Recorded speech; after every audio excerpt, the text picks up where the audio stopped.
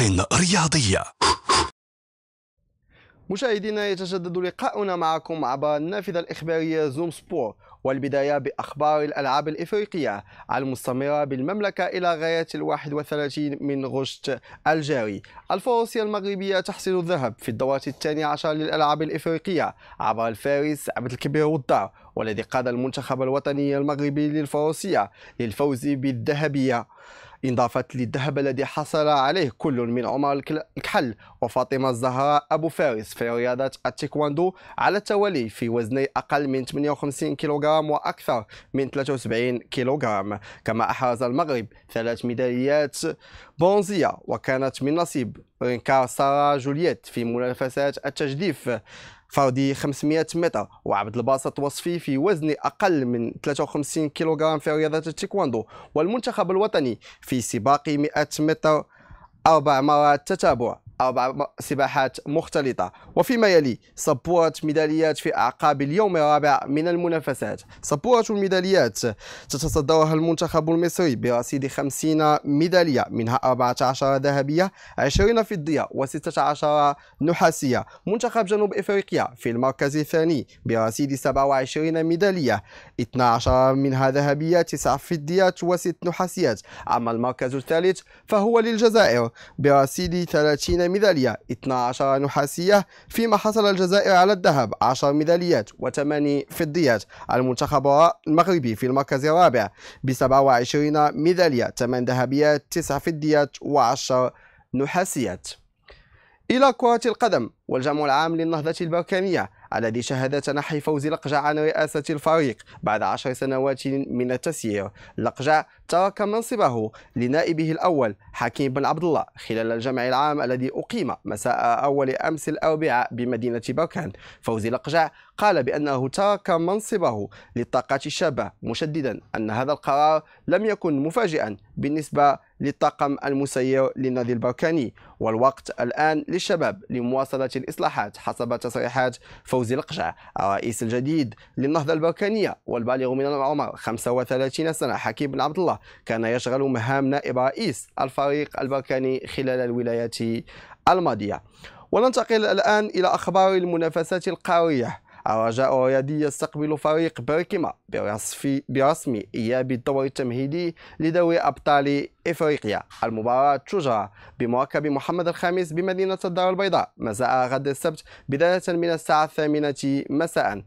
كما سيغيب عن هذا اللقاء كل من محمد أحداد وإلياس أحداد لأنه لا حق لهما في المشاركة فيما ينتظر الرجاء بطاقة خروج مالونغا من الفيفا حتى يتسنى له إشاركه في نزالاته. تجدر الإشارة إلى أن مباراة الذهاب من هذا الدور انتهت بالتعادل الإيجابي ثلاث أهداف لمثلهما وهو ما يضاعف حظوظ النادي الأخضر للتأهل إلى الدور القادم. ودائما مع أخبار الرجاء الرياضي حيث حددت إدارة فريق رجاء تاريخ الواحد وثلاثين من غش المقبل موعدا لمباراة سدس عشر نهائي كأس العرش الذي ستجمعه بفريق نهضة الزمامة. اللقاء سيقوم سيقام على أرضية مركب محمد الخامس بمدينة الدار البيضاء انطلاقا من الساعة السابعة مساء. ونعود لأخبار مشاركة الأندية الوطنية في المسابقات القارية. يخوض فريق اتحاد طنجة ثالث مبارياته برسم الدور التأهيلي لدور 32 من كأس محمد السادس للأندية البطلة فارس البوغاز في حاجة إلى لثلاث نقاط من أجل التأهل حين يواجه فريق هيرسيد الصومالي مساء غد السبت على الساعة السابعة مساء بملعب العبد بمدينة الجديدة. ذلك أن اتحاد طنجة تفوق في في الجولة الماضية على الزوار العراقي بثلاثية نظيفة وانهزم في أولى المباريات ضد المحرق البحريني بهدف دون مقابل. إلى أخبار الانتقالات تعاقد فريق الوداد الرياضي مع الأوغندي مرشد لتعزيز خطه الدفاعي بعقد مدته أربع سنوات. في الوقت الذي كانت عدد من الأندية المصرية تنافس الوداد على اللاعب مرشد خاصة فريق الزمالك وفريق بيراميدز الذي يدربه الإطار الفرنسي سيباستيان دي صابر والذي يعرف الإمكانيات التي يتوفر عليها اللاعب الأوغندي. وفي أول لقاء للثنائي رجاوي محسن ياجور وزكريا حداف ضمن فريق ضمك السعودي مني اللاعبان وفريقهما بهزيمة بهدفين لصفر أمام النصر السعودي الذي سجل حمد الله هدفه الثاني. حمد الله يواصل سلسلته التهديفية وفق تفاريق النصر السعودي. تجدر الإشارة إلى أن شارة العمادة خلال هذه المباراة منحت للاعب المغربي زكريا حدرف وننتقل إلى أخبار المواهب المغربية التي تنشط بالدوريات الأوروبية حيث لا يزال اللاعب الشاب محمد إحتران لم يحسم المنتخب الذي سيحمل قميصه.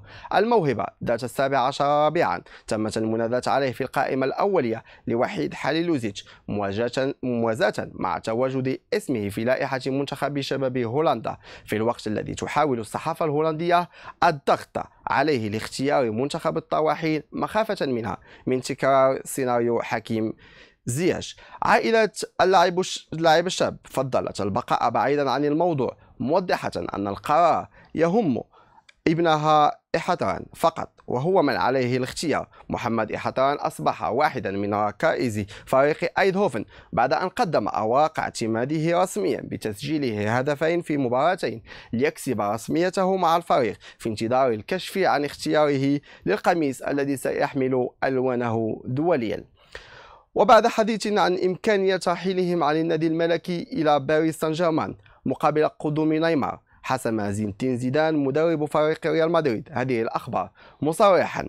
بأنه بأن جاريث بيل لن يرحل عن الميرينجي شأنه شأن الحارس كارلوس نافاس الفرنسي رفض التعليق عن قدوم نيمار مشددا بأن الفترة المقبلة ستعرف قدوم لاعبين ورحيل آخرين مبرزا بأن الأهم هو مباراة يوم الغد ضد بلد الوليد حيث يخوض ريال مدريد ثاني مبارياته في الليغة الإسبانية بعد لقاء افتتاحي بطعم الانتصار الأسبوع الماضي. ودائما مع الأخبار الدولية بعد مسيرة طويلة شهدت ألقابا متعددة قرر المهاجم الإسباني فرناندو توريس اعتزال اللعب بشكل نهائي. توريس سبق له حمل قميص أتلتيكو مدريد تشيلسي وليفربول قبل أن ينهي توهجه بعالم الساحرة المستديرة بالدوري الصيني. وبجلطة دماغية توفي المهاجم السابق للمنتخب الغاني أغوغو عن سن يناهز 40 سنة. الجمهور الكروي تعرف على أغوغو خلال نهائيات كأس أمم إفريقيا التي نظمت سنة 2008 بغانا وكان واحدا من المتألقين مع المنتخب الغني بتسجيله عددا من الأهداف وساهم في وصول منتخب غانا إلى نصف نهائي البطولة القارية. وصلنا مشاهدينا إلى صورة اليوم.